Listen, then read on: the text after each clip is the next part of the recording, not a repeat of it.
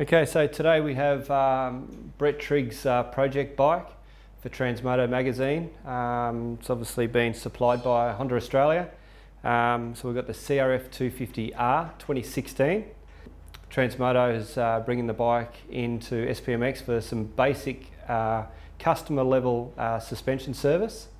Um, so we've kitted out the, uh, the standard uh, Showa air fork uh, with a setting uh, that we've set up for, for Bret for um, general motocross purpose uh, in Victoria.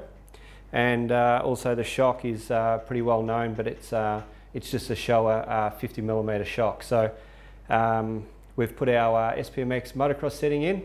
It's a level one of our customer um, SPMX setup.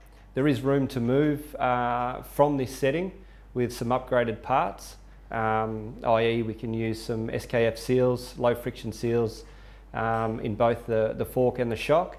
Um, they all um, obviously add to the total price. So we've kept this uh, purely uh, as a test level of an entry level uh, suspension setting.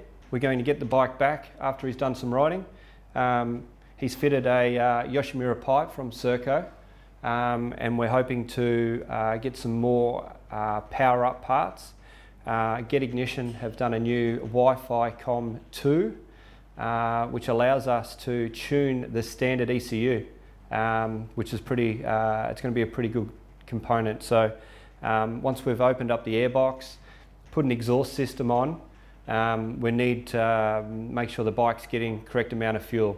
Um, and the, the, the, Get, the guys at Get have um, designed a, a Wi-Fi COM, uh, which is uh, able to be used on our smartphones and we can actually change the fueling, uh, some ignition um, and a few of the parameters of the bike. So it really helps with putting uh, the aftermarket parts on and getting the full benefit uh, of these parts um, by the correction in fuel. So um, we're really excited to, uh, to get started in stage two and uh, we look forward to that.